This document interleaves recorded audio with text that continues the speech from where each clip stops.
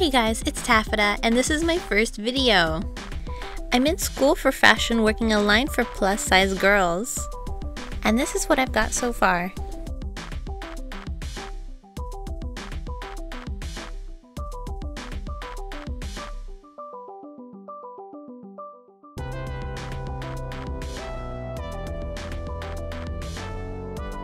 I started around high school. I would modify and sew my own clothes to fit perfectly, and then I realized I could make a career out of it.